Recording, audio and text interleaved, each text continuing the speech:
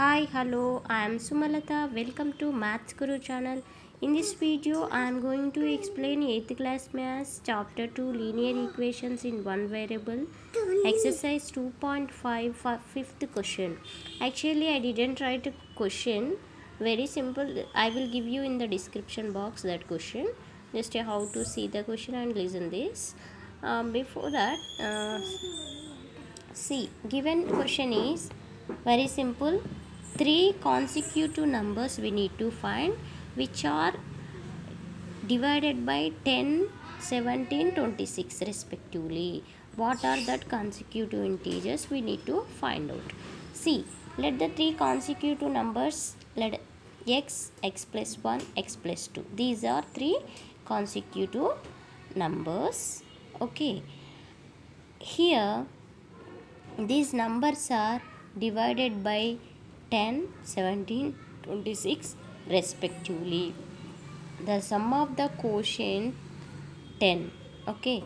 The sum of the quotient will be 10 okay. See here x by 10 x is divided by 10 plus x plus 1 by 17 plus x plus 2 by 26 is equals to 10 now you can take the LCM if you multiply all these you will get 2000 to 210 okay. Now 10 in this number double to 1 times it will go.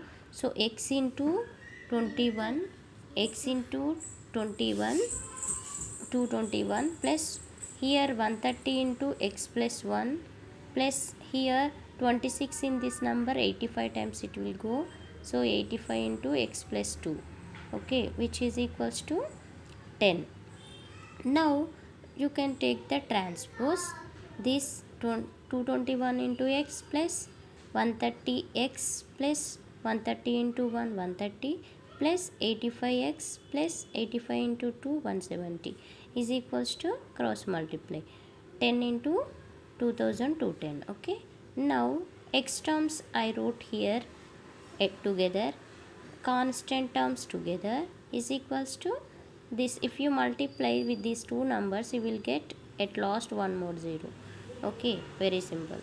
Now x terms if you add you will get 436 see here I did addition.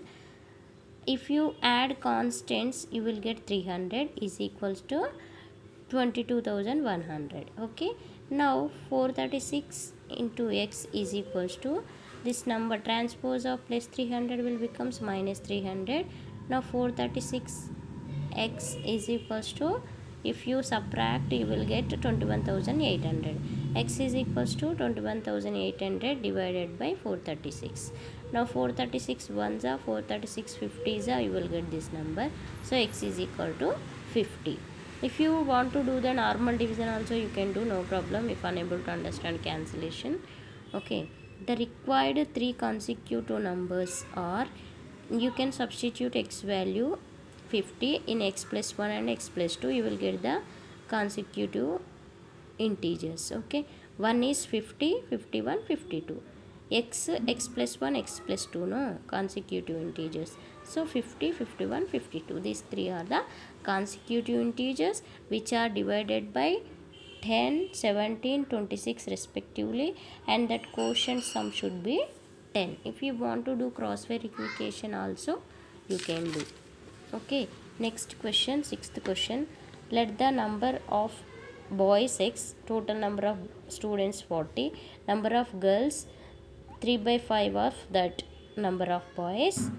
Okay so 3 by 5 into x 3x by 5 according to the sum x plus 3x by 5 is equal to 40 now do the cross uh, LCM for 1 and 5 LCM is 5 now 1 in 5 5 times it will go. 5x plus 3x is equal to 40 8x by 5 is equal to 40 8x is equal to 40 into 5 x is equal to 40 into 5 by 8 8 1s are 8 5 is 40 x is equal to 5 into 5 x is equal to 25 number of boys in the cl classroom 25 this is about a classroom. I will i will have given question in the description box. Once look at there you can understand.